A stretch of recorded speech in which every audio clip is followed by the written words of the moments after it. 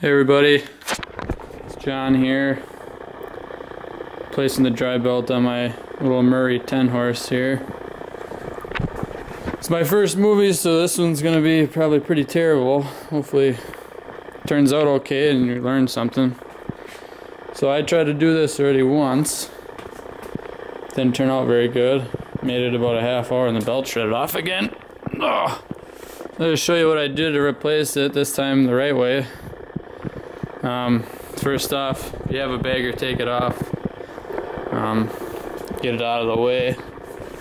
Secondly, I dropped the deck all the way so you can see you gotta get way up under here. So you need all the room you can get. Yeah, I'm not a very big guy, but my arms didn't really fit too good. So the first thing I did, one, remove the axle. Not remove it, but loosen it up. So if you can see this, there's two bolts. One, two. You got nuts underneath, go through the axle. The nuts are under here, half inch wrench, half inch socket. Same thing on the other side. You can see that decent, sorry about the light. Then the one that's not easily found is the one in the back right there. Gotta loosen that up take the bolt out. And you just use a little jack. Got a little brick here to hold it up a little higher.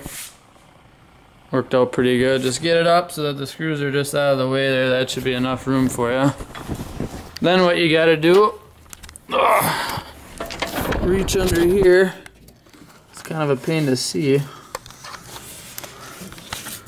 But right this bracket here, you gotta loosen that up. So if you see there's a little bolt hole right, right up here. Hold on once. Get it to focus decent. Anyway.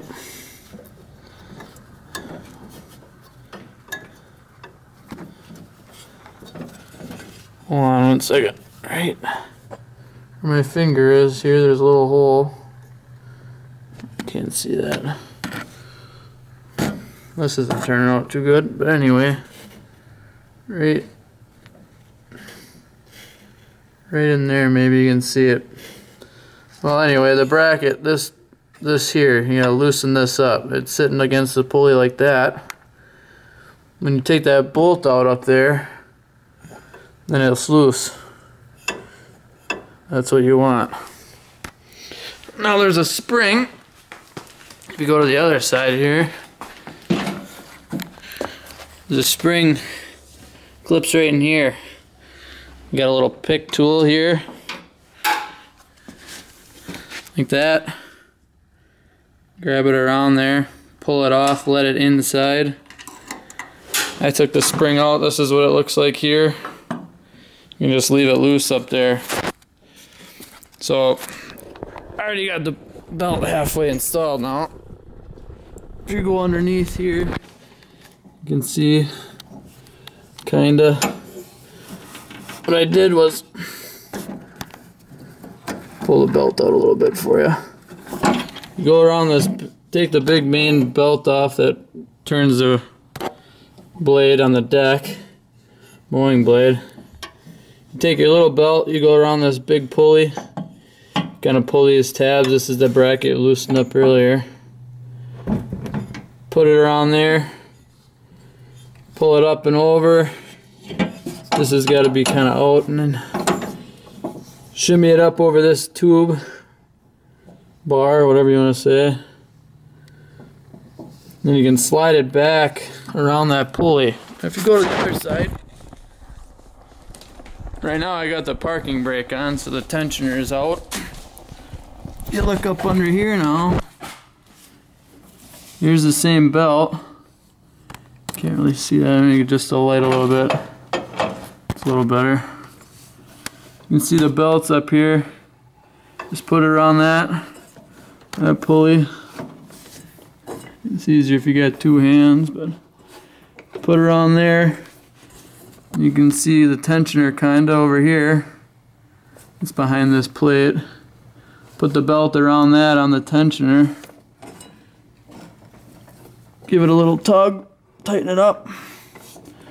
Put it around there. And this is the drive pulley here, so you can turn the axle up a little bit. One-handed it's not easy, but shimmy it up under there a little bit.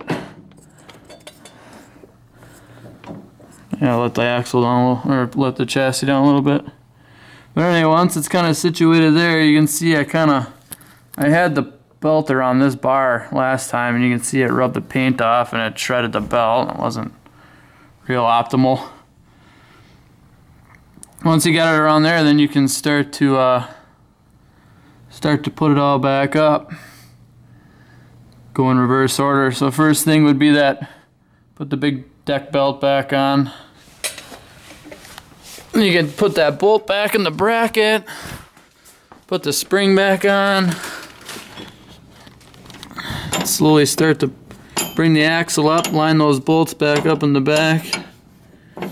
Put the drive belt, there's the drive belt back on that big pulley there, around the bottom like you found it. Like I said, you gotta, takes a little effort to get the axle in straight. You're gonna have to line those bolts up that you took out, those ones on the other side. You have to push this bar underneath here and try to line that up. But one thing when you go back up, you got to watch out for this. That's going to get in your way.